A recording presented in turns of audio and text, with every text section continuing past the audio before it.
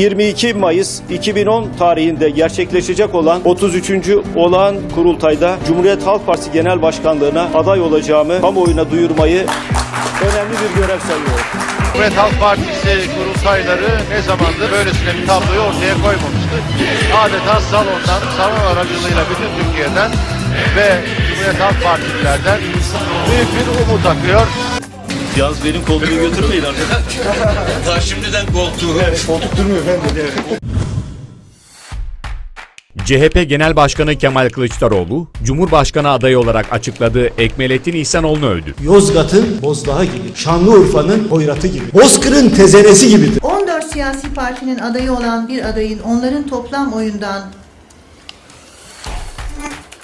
verilere göre %8,5-9 düşük oy almasını bir başarı olarak nitelemek Cumhuriyet Halk Partisi'nin tabanının aklı ile alay etmektir bana göre. CHP Genel Başkanı Kemal Kılıçdaroğlu, Tarhan'ın istifasını partisinin Antalya kampında bir cümleyle değerlendirdi. Okumadım ama sağlık olsun tabii normal. Zaten beklediğimiz bir şeydi. Zaten beklediğimiz bir şeydi. Ama sabah mikrofonu gören koşa koşa gidip CHP'yi eleştirirse kimse kusura bakmaz buna izin vermeyeceğim. Eskişehir Milletvekili Süheyl Batum da yeni istifalar olabilir deyince de parti yönetimi düğmeye bastı. Batum dün kesin ihraç istemiyle disipline sevk edildi. Her ne kadar parti yönetimimiz inkar etse de çok açık olarak 30 Mart seçimlerinde bir ittifak yaptı. Cemaatle ittifak yaptı.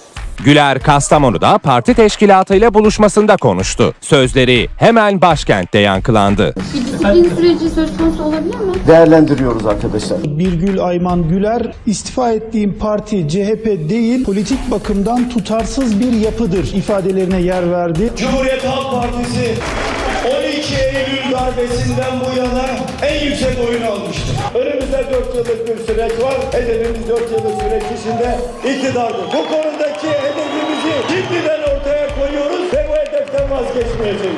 Biz sonuna kadar mücadele edeceğiz. Sonuna kadar mücadele edeceğiz. Bu daha başlangıç. Güçlenerek geliyoruz. Bütün seçim sonuçlarına bak. Tamam bekledik, be- beklediğimiz oranda oy almadık. Onu ben de biliyorum. Ben de biliyorum. Benim söylemem şık olmaz bunu. Utanırım ben böyle şeyleri söylemeye. Utanırım ben böyle şeyleri söylemeye. Yani 8-9 puan fazla oy almışız. Bana derlerse yürü önümüzden ben yürümeye hazırım. Uzun yıllardır milletvekili çıkaramadığımız pek çok ilde 13 ilde milletvekili çıkardık. Bireysel çıkar peşinde koşup da milletvekili olmadığım için işte ben şimdi eleştireceğim. Bu koltuk sevdasına tutulanların bizim partimize yeri yoktur. Benim ağzımdan kurultay diye bir şey duyarsanız o zaman konuşursunuz ama duyamayacaksınız. Ama hiç kimse şunu unutmasın. Herkese söylüyorum, açık ve net söylüyorum. Herkes bilsin. Muharrem İnce bizim bir değerimizdir. Onu da sonuna kadar kucaklıyoruz. Milletin önünde de bunları söyleyebilirim. Sayın Genel Başkan'a kendisi isterse olağanüstü kurultayı kendisi toplayarak benim genel başkan olabileceğimi, kendisinin onursal genel başkan olacağını söyledim. Cumhuriyet Halk Partisi'nde kurultay süreci artık bu sabah itibariyle başladı. Muhalif kanat noter onaylı imzaların toplanmasına başladık.